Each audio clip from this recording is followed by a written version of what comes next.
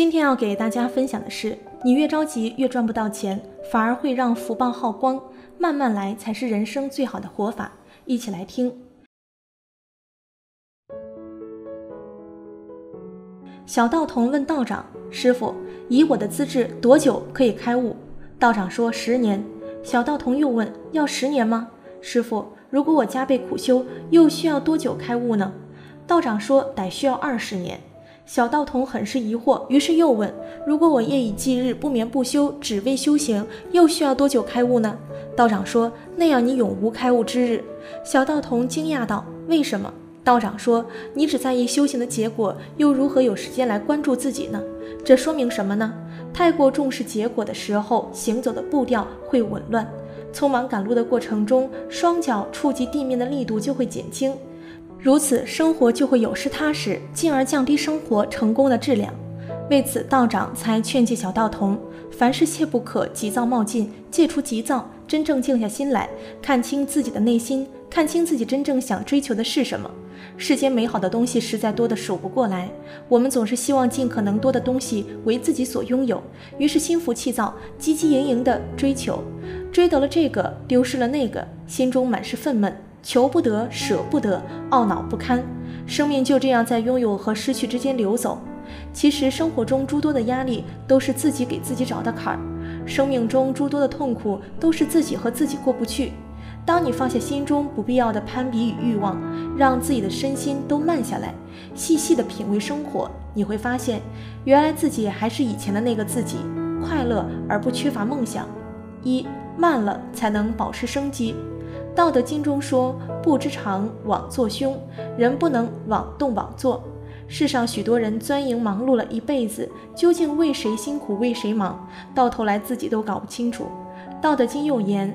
孰能安以久动之而徐生？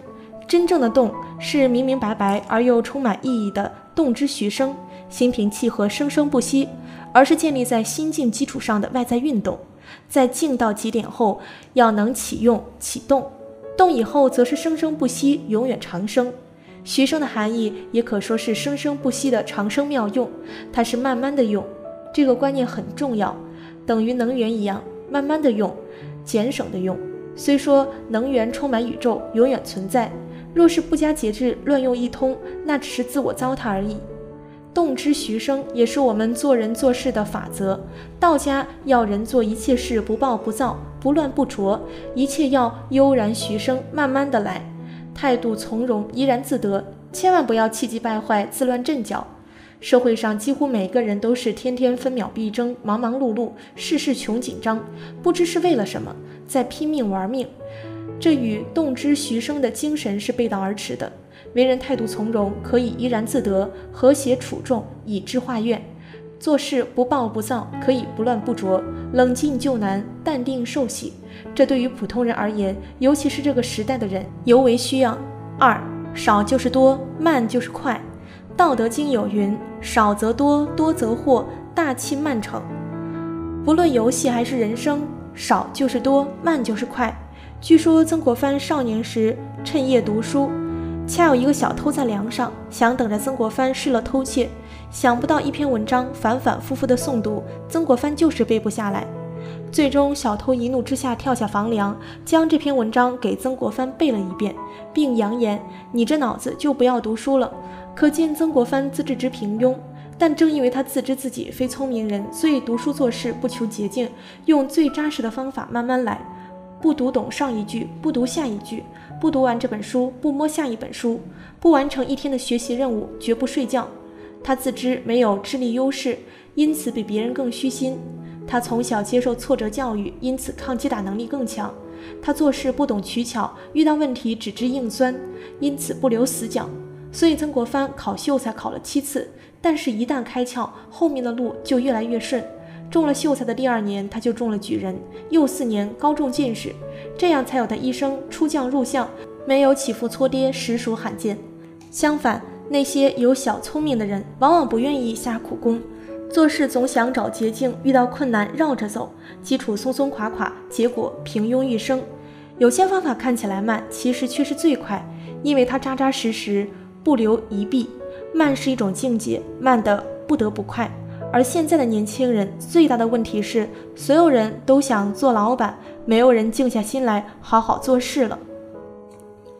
都认为站在风口上猪都能上天了，没有人扎扎实实提升自己的能力了。都认为机会来了，所有人都想一夜暴富，没有人想到成长也是需要时间的。所有的成长都不是一两天，三年树一品，十年磨一剑。要想成为一棵大树，首要的条件是时间的积累。三缓而图之，则为大利；急而成之，则为大害。孔子讲：无欲速，无见小利。速。欲速则不达，见小利则大事不成。说话做事，该慢下来的事情就必须慢下来，扎扎实实的做好。而养心与求知，恰恰是人生种种修行里最急不得的事情。心如若随着权与力跳来跳去，不过徒然心烦而已。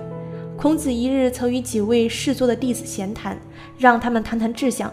子路性子急，孔子话音未落，他就洋洋洒洒地讲了一大套。可是子路万万没有想到，他这一通情感流露，却让孔子转身就赏了他一声冷笑。这热脸可是大大贴上了冷屁股。孔子事后也解释了冷笑的原因：为国以礼，其言不让，是故审之。不是说你讲的不好，而是你这沉不住气的劲儿太不像样。孔子一直强调敏于行而慎于言。遇事需机敏麻利、雷厉风行，可讲话最技巧，一定要思虑清楚，等时机恰当再慢条斯理地说出来。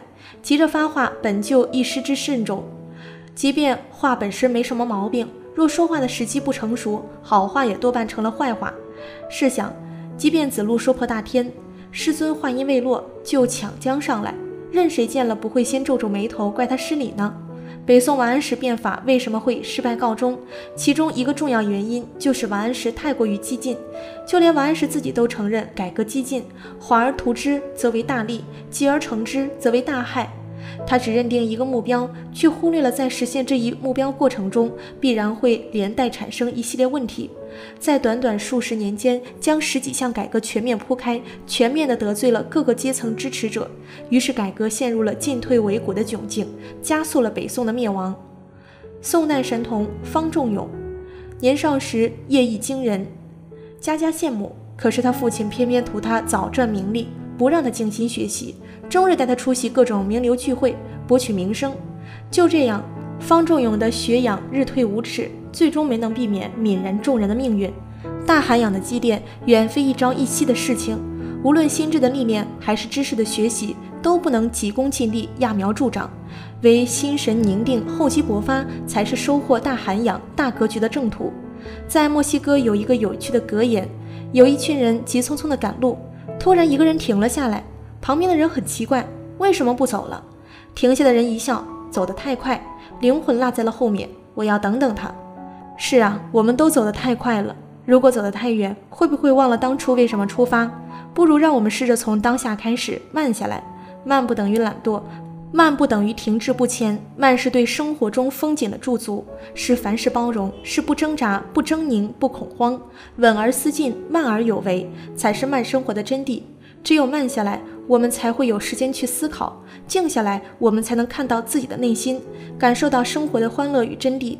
在纷繁忙碌的生活中，我们的心渐渐遗失了对美好的想象。